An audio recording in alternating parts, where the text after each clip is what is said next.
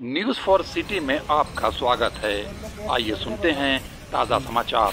पूर्वी दिल्ली पुलिस ने चोरी के मोबाइल फोनों की खरीद फरोख्त करने वाले एक शातिर अपराधी को गिरफ़्तार किया है, जो चोरी के मोबाइलों को खरीद कर मथुरा, कोसी, भरतपुर, अलवर और मेवात के अलावा अन्य राज्यों में बेचने का धंधा करता था। गिरफ़्तार शख्स की पहचान निज़ाम के रूप में हुई है, जो गाजियाबाद के साहिबाबाद का रहने वाला है। ये शख्स उन क्रिमिनल के संपर्क में रहता था जो चोरी, स्नैचिंग करते हुए महँगे मोबाइल चुरा कर इसे बेचा करते और ये चोरी के मोबाइल को आगे महँगे दामों में बेचता था। पुलिस ने सूचना के आधार पर इस शातिर अपराधी को गिरफ़्तार किया। गिरफ़्तार आरोपी निज़ाम ने पूछताछ में बताया कि वह पिछले कई सालों से इस काम को कर रहा है, लेकिन आज पहली बार दिल्ली पुलिस के हत्थे चढ़ा। डिस्ट्रिक्ट पुलिस के स्पेशल स्टाफ की टीम ने एक रिसीवर ऑफ़ स्टोलन प्रॉपर्टी को अरेस्ट किया है, जिसका नाम निज़ाम शेख है।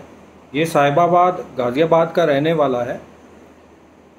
निज़ाम शेख अलग अलग स्नैचर्स रॉबर्स और पिक पॉकेटर्स थे मोबाइल फ़ोन बड़ी तादाद में ख़रीदा करता था और फिर ये अपने लिंक्स के ज़रिए इनको राजस्थान, मथुरा, कोसी, भरतपुर, अलवर, नू, मेवात, इन सब जगहों पे इनको डिस्पोज ऑफ़ किया करता था। इसकी पूछताछ में पता चला है कि ये एक मोबाइल फ़ोन करीबन पाँच हज़ार रुपये का ख़रीदता था और फिर पाँच सौ रुपये के मार्जिन पे इनको फर्दर डिस्पोज ऑफ़ कर दिया जा, करता था। इसके पास से ऐसे एक सौ तरतालीस one forty three mobile phones जो हैं, वो रिकवर हुए हैं। निज़ाम शेख का जो प्रोफ़ाइल है, वो ये है, ये पढ़ा लिखा नहीं है। 16 साल की उम्र के बाद, उम्र पे इसने वेटर का काम करना शुरू किया, फिर इसने टेंपो चलाना शुरू कर दिया।